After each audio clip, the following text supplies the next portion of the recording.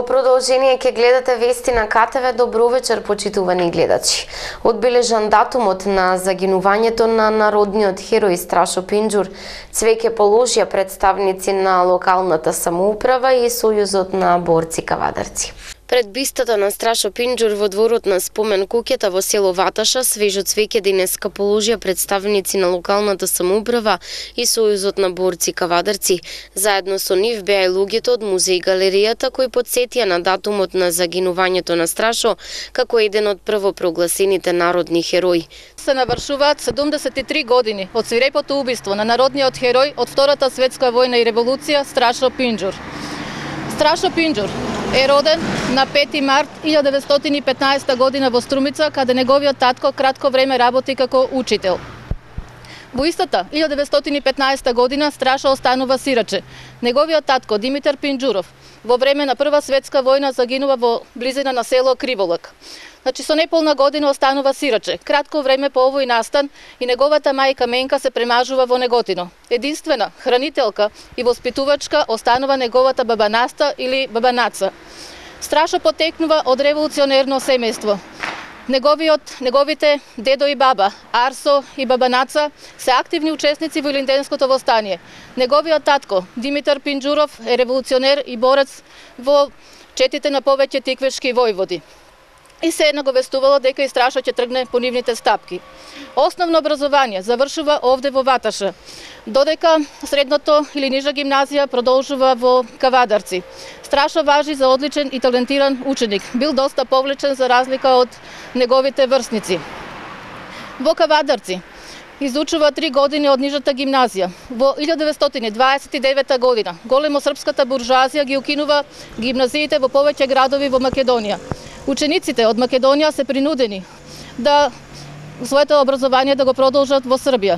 Страшно заминува на почетокот во Горни Милановац, потоа во Неготин крајна и своето гимназиско образование го продолжува во, односно го оформува во Крагуевац. Во периодот од 1932 до 1935 година се наоѓа во Крагуевац. Овде запаѓал често во депресија си водел свој дневник и во 1933 година во дневникот запишал «Јас со големо ќе умрам млад и мојот гроб нема да се знае», што подосна и се обистинило. Овде додека се наоѓа на школување во Крагуевац, се бунтува и против Василије Правуловиќ, нишки психолог кој истакнал дека македонците се простодушни и примитивни луѓе. Значи тоа било несватливо за еден ученик од тогашно време. Во 1935 година се запишува на правниот факултет во Белград. Овде во таа универзитетска во тие универзитетски години е избран за член на акциониот одбор на студентските здруженија. Во 1936 година македонските студенти формираат свое културно просветно друштво Вардар, каде Страшо Пинџур е избран за негов секретар. Страшо Пинџур Во истата година еден од иницијаторите за формирање на Македонското народно движење или МАНАПО, која активно действува од 1936 до 1938 година. Во средината на декември тие се наоѓаат Страша Пинџор и Мир Чаца се наоѓаат во Велес. Вечерта на 17 октомври, на 17 декември се се сретнале со секретарот на местниот комитет на Велес и само двајца од од Велешката партија знаеле каде престојуваат Страшо Пинџор и Мирче Ацев. Тие престојувале во куќата на Јован Митрев во населба Долно Дучани во Велес. Како е откриена куќата останува енигма, значи не се знаело од, од, како е откриена таа скривница така и што престојувале. Било наведено подоцна во извештаите дека куќата била подолг период следена и кога виделе дека Јован Митрев тие денови внесува повеќе храна од обично, предпоставиле дека овде се кријат. Значи, по, дол, по долгото тропање било известена 8 Велешката и Скопската полиција, била обиколена куќата на Јован Митрев и по долго тропање не, не отвориле и знаеле дека веќе нешто се случува внатре. Ќерката на Јован Митрев Милка застанала до скривницата кај што била, таа наликувала била до куќата, наликувала на полски клозет, таму била и легалната печатница, внатре се скриле Страша Пинџур и Мирче Ацев. Значи, виделе дека не се работи за полско ВЦ, дека тоа е всушност скривница. На почетокот кога ги извлекле Страшо и Мирче, тие се представиле под лажни имиња, дека се трговци. Но подосна, како што истакнал Лјупче Јорданов, кој бил началник на областниот затвор во Скопје, Страшо рекол само Зверови, јас сум Страшо Пинџур, доста е тоа за вас, додека Мирче Ацев, кога се барал од него да каже, да го каже она што го знае за партијата, тој само опишувал нешто на ливче, значи на некој начин се, ги, се заезал со нив, така да биле доста тепани од повеќе бугарски полицајци. Два дена страшно бил оставен во ќелијата, потоа било од страна Лјупчо Јорданов, началникот наредено Тодор Маринов да го донесе, кога видел дека страшно лежи на подот во локва крв, со пена на устата, било објавено од страна Лјупчо Јорданов сите стражари да дојдат на некаков состанок кај него, само двајца поверни што, што му биле, да одат да го пренесат телото во подрумот и ноќта со моторцикл да го изнесат. Значи телото е изнесено во непознат правец, се предпоставува дека е фрлено во реката Вардар. Значи она што го кажал предходно се обистинало дека неговиот гроб нема да се знае. Значи истиот ден и Мирче Аце бил фрлен од прозорот на затворот и било објавено дека сакал да бега, како Мирче, така и Страшо. Пукале подолу од Велес и било објавено дека Страшо Пинџур сакал да дека побегнал од затворот. И неговата баба Наца долги години барала да се каже каде е телото, но не успела и таа не дознала каде се наоѓа телото на Страшо Пинџур. Така на 4 јануари 1943 година згаснува животот на народниот херој Страшо Пинџур, кој е меѓу првите прогласен за народен херој на 29 јули 1941 година, на неполни 28 8 годишна возраст. Спомен куќата на Страшо Пинџур беше реновирана во 2012 година, таа од 1976 година со поставување на постојаната изложба на експонати сведочи за животот на народниот херој. Вчера падна првиот снег. Во Кавадарци не беше формирана снежна покривка, додека зимската служба интервенираше на неколку локални патни правци во селата со поголема надморска височина, каде имаше снежна покривка од 3 до 5 сантиметри. На територијата на општина Кавадарци минатата ноќ се регистрирани минимални врнежи на снег во Котлинскиот дел снегот кој во неколку наврати паѓаше, веднаш се топеше. Минимални врнежи на снег се регистрирани на висина од над 600 метри, каде снежната покривка изнесува меѓу 3 и 5 сантиметри.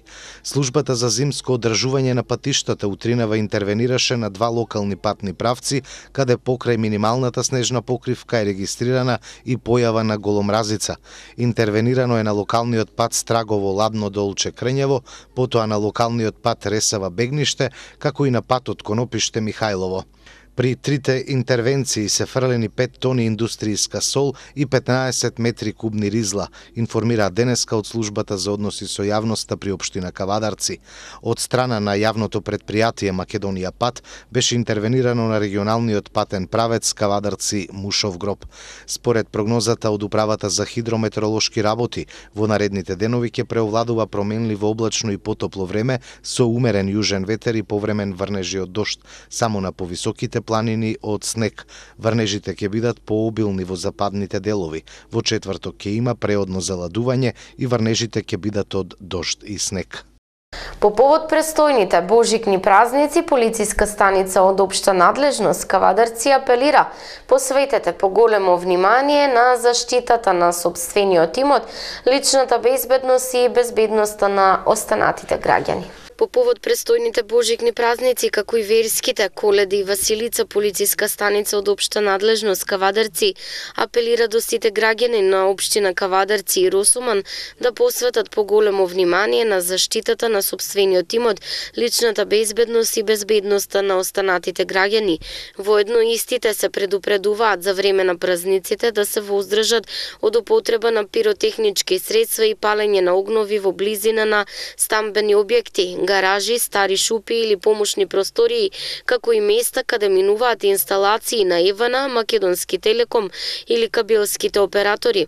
Полициска станица од општа надлежност Кавадарци предупредува граѓаните да се воздржат и од други девијантни и незаконите однесувања со кои се загрозува јавниот ред и мир и личната сигурност на граѓаните.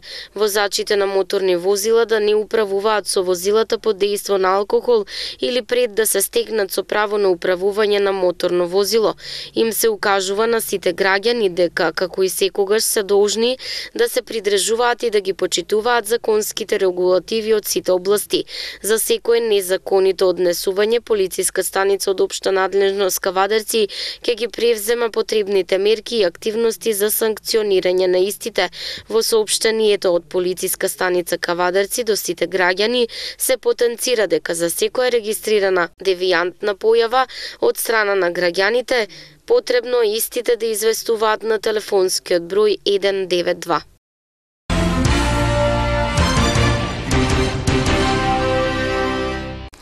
Додека си посакуваме среќна нова 2016 година, подсетуваме дека анкетата на истражувачката агенција Брима покажува дека 51 од 100 од македонците во 2015 година се чувствувале среќни.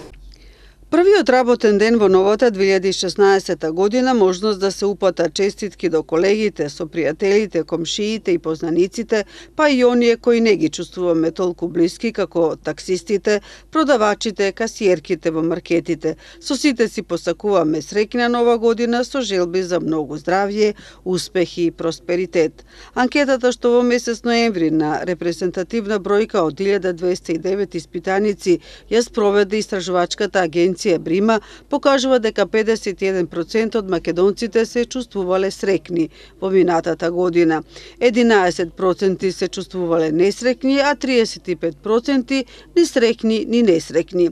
34% од граѓаните се надеваат дека годината што почна ќе биде подобра од минатата, а 25% со оптимизам очекуваат дека 2016 ќе биде година на економски просперитет. 30% од испитаниците сметаат дека ќе се влоши економскиот просперитет, а 25% дека ќе се подобри.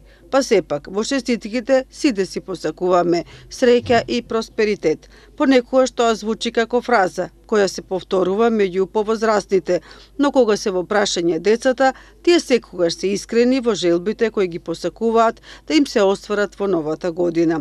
Повеќето од нив долго се мислат која е нивната желба која сакаат да им се оствари, но најголем дел од желбите се скромни, едноставни и се однесуваат на нивните најблиски кои најмногу ги сакаат. Што посакуваш во новата година да ти се оствари? Ти што посакуваш да ти се оствари? Е, сакам да се оствари да си, да, да си добијам е, пакетче. Пакетче. Што сакаш да добиеш во новата година? Како подарок? Што Јас се сакаш? викам Благица. Добра, Благица. Ти што сакаш да ти се оствари во новата година? Не знам. Ќе се сликаме ми. Среќа, здравје. И јас сакам да се да се возам со Дедо Мраз. А, ти што сакаш да ти се оствари во новата година? Јас се викам Ѓоргија, се презивам Кисковски и сакам да ми се оствари сестра ми да заврши факултет.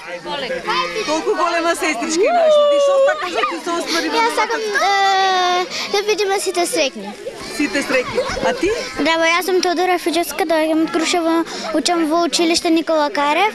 А, за нова година сакам да бидам весела, да добиам брат или сестрички. Спалка Антигонеа од Неготино изминатата недела додели благодарници на 50 ученици од Средното општинско училиште Свети Кирил и Методи и Неготино кои активно беа вклучени во планинарските спортови. Изминатата недела спортско-планинарскиот алпинистички ориентационен клуб Антигонеа некој од Неготино на 50 ученици од Средното општинско училиште Свети Кирил и Методи од Неготино им додели благодарници во знак на благодарност за подршката која младите ја даваат за планинарењето и нивното активно вклучување во планинарските спортови во рамките на Обштина Неготино.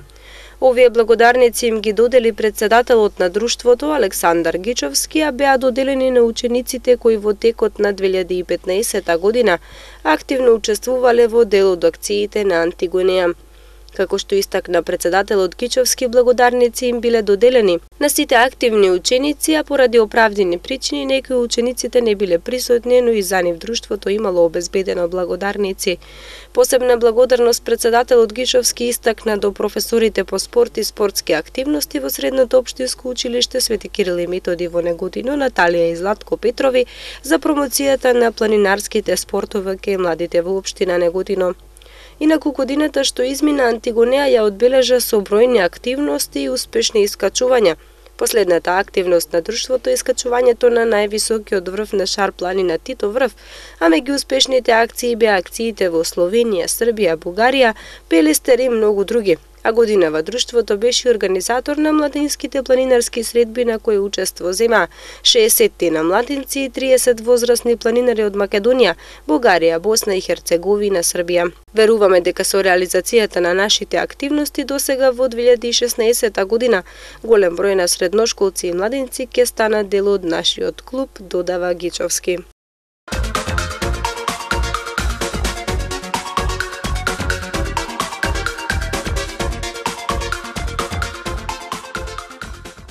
Следува временска прогноза. Времето утре е променливо облачно со повремени врнежи од дошт на планините од снег, особено попладне, ке дува слаб до умерен ветер од јужен правец, а температурата до 9 степен. Гледавте вести, ви благодарам на вниманието и ви посакувам пријатна вечер со КТВ.